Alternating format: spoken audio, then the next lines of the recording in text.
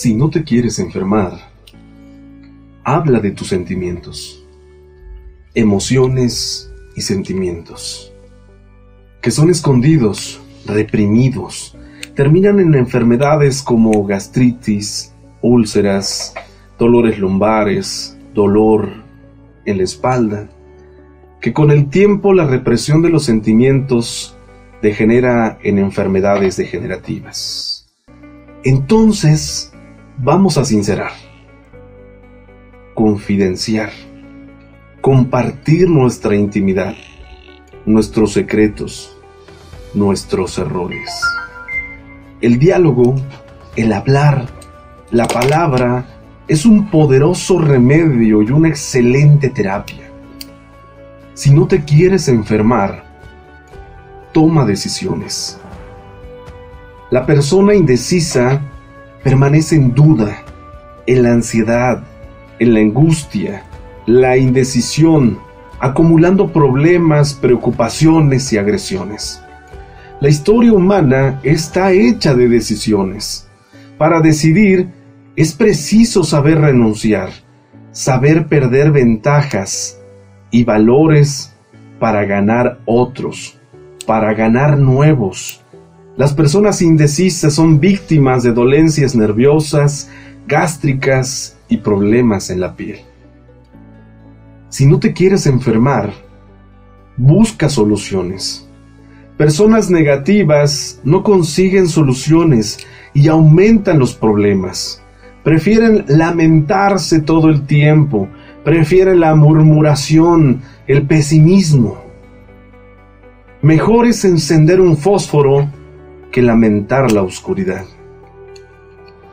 Una abeja es pequeña, pero produce lo más dulce que existe. Somos lo que pensamos el pensamiento negativo genera energía negativa que se transforma en enfermedad. Si no te quieres enfermar, no vivas de apariencias. Quien esconde la realidad finge, hace poses, quiere siempre dar la impresión de estar bien, quiere mostrarse perfecto, bonachón, etcétera, etcétera, etcétera. Está acumulando toneladas de peso. Es una estatua de bronce con pies de barro. Nada peor para la salud que vivir de apariencias y fachadas. Son personas con mucho barniz y poca raíz. Su destino es la farmacia, el hospital y el dolor. Si no te quieres enfermar, acéptate.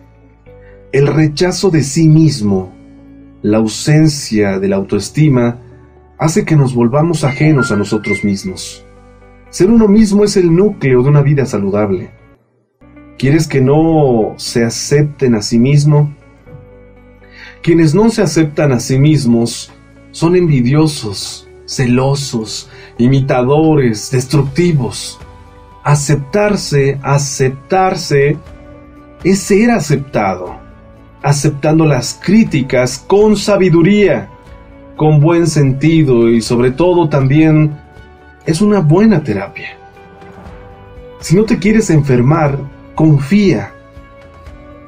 Quien no confía no se comunica, no se abre, no se relaciona, no crea relaciones estables y profundas, no sabe hacer amistades verdaderas. Sin confianza no hay relaciones humanas. La desconfianza es falta de fe en sí mismo en los otros, en Dios. Si no te quieres enfermar, no vivas siempre triste. El buen humor, la, risa, el reposo, la alegría, recuperan la salud y traen larga vida. Las personas alegres tienen el don de alegrar el ambiente, de donde sea, de donde viven, de donde trabajan. El buen humor nos salva de las manos del doctor. La alegría es salud y es una maravillosa terapia. Sé feliz, sonríe, ama y disfruta de la naturaleza. del sol, de la lluvia, del viento, de la luz, de las estrellas, de la luna, de las palabras. Vive, vive.